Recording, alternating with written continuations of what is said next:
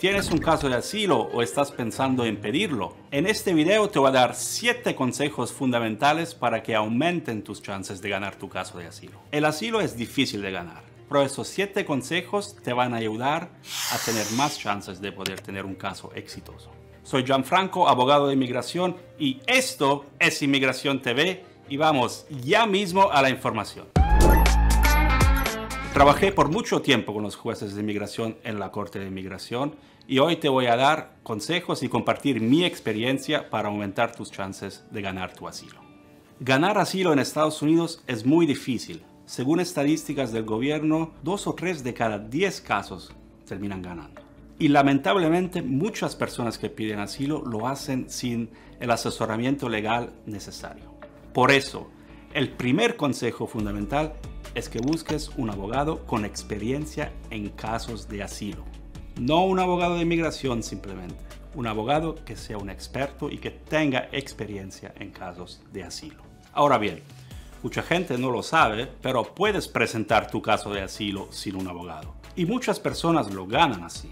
Pero claramente es más difícil ganar sin abogado y es mucho más probable que vas a cometer errores. Ahora pensarás que digo esto porque soy abogado y déjame decirte que no lo estoy diciendo porque soy abogado. Todo esto está basado en un estudio de la Universidad de Stanford donde dice que una persona que es representada por un abogado en su caso de asilo tiene tres veces más chances de poderlo ganar. Además, lo veo en la corte a diario. Muchas personas se presentan con su caso de asilo en frente del juez y no están preparados o cometen errores fundamentales que pueden resultar en una denegación. En caso de que no puedas pagar a un abogado o que no encuentres uno bueno, recuérdate que hay muchas organizaciones sin fines de lucro humanitarias que se dedican a ayudar a personas que piden asilo, solo que están colapsadas de trabajo. Y no te olvides suscribirte al canal, apretar la bendita campanita, así no te pierdes ninguna noticia. El consejo número 2 es tener mucha evidencia. Este es un tema clave que comprobé en mi tiempo trabajando en la corte. Los casos solo se ganan con mucha evidencia o con evidencia de calidad. Además, también he podido confirmar eso en mi práctica como abogado a diario. Ahora ya sé lo que estarás pensando. Pero abogado Gianfranco, si estoy huyendo o escapando de la persecución, no voy a tener tiempo de recopilar mi evidencia. Es importante de todos modos que recuerdes que las reglas de evidencia de los casos de asilo son un poco más flexibles, entonces hay muchos tipos de evidencia que puedes presentar. Por ejemplo, tu propio testimonio, denuncias policiales, artículos periodísticos, reportes médicos, declaraciones de testigos y mucho más. También informes del Departamento de Estado de los Estados Unidos que describen las condiciones sociopolíticas de tu país y pueden ayudar a demostrar el tipo de persecución que estás sufriendo o que sufriste.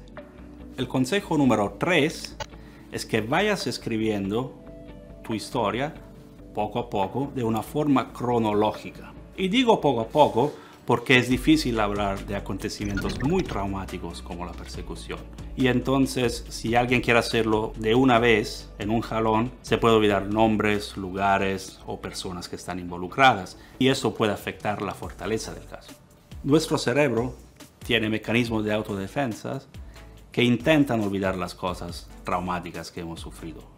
Y entonces, al hacerlo poco a poco, vamos a tener una posibilidad más grande de recordarnos todo lo que nos ha pasado.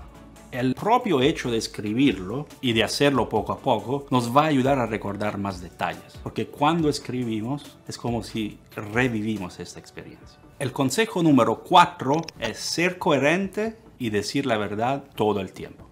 Sin lugar a duda, es el consejo probablemente más importante. He visto un sinnúmero de casos que fueron negados porque el juez o el oficial de asilo no creía a lo que estaba contando la persona. Dependiendo si tu caso está en la oficina de asilo o en la corte de inmigración, el fiscal, el juez de inmigración o el oficial de asilo van a querer ver si tu historia es real, si estás diciendo la verdad y si las circunstancias de tu país confirman tu historia. Entonces, si te llegas a confundir en algún detalle, aunque no estés mintiendo, podrían denegar tu caso y concluir que no eres un testigo creíble y no dar ningún peso a tu testimonio. Y quiero recalcar eso. Muchos casos de asilo no se pierden porque lo que le pasó a la persona no fue persecución o porque no han demostrado su caso bajo la ley. Lo pierden porque no le creen que le haya pasado lo que están describiendo. O sea, se pierde por razones de credibilidad. Entonces esto es fundamental, conocer tu historia mejor que cualquier persona en el tribunal. El consejo número 5 es que debes mantenerte siempre informado de fuentes confiables. El asilo en Estados Unidos es un tema político altamente controversial y siempre está en debate y hay cambios legales. Por eso es fundamental que te mantengas informado con fuentes de información confiables. Tristemente, demasiado seguido veo información equivocada o hasta maliciosa en las redes sociales de personas que no tienen la experiencia o el conocimiento necesario para poder asesorar en casos de asilo. Así que mucho cuidado con eso. Las cosas, las leyes cambian muy seguido en inmigración y entonces mantente informado todo el tiempo. El consejo número 6 es que no pidas el asilo solo para conseguir un permiso de trabajo. Muchas personas, por la desesperación, porque caen en una estafa de alguien que les promete un permiso de trabajo, sometiendo una solicitud, terminan sometiendo un asilo cuando no tienen ninguna chance de poder ganar. Lo que termina pasando es que estos casos terminan en la Corte de Inmigración en un procedimiento de deportación. Entonces, al intentar conseguir un beneficio, un permiso de trabajo, se termina perjudicados con el riesgo de poder ser deportados de los Estados Unidos. Es algo que no podemos recomendar hacer y es muy importante asesorarse antes de someter cualquier solicitud. Y ahora, el consejo número 7 es un consejo muy peculiar y muy interesante. El estado en el cual vives puede determinar si vas a ganar o perder tu caso de asilo. Eso es por varias razones. La primera razón es que hay 11 jurisdicciones federales en los Estados Unidos. Por ejemplo, California está en la jurisdicción 9 y Texas está en la 5. Y cada jurisdicción interpreta el derecho de asilo en un modo un poco distinto. Eso causa que en algunas jurisdicciones, como la, jurisdicción 9 donde está California, hay un derecho de asilo un poco más favorable a los solicitantes.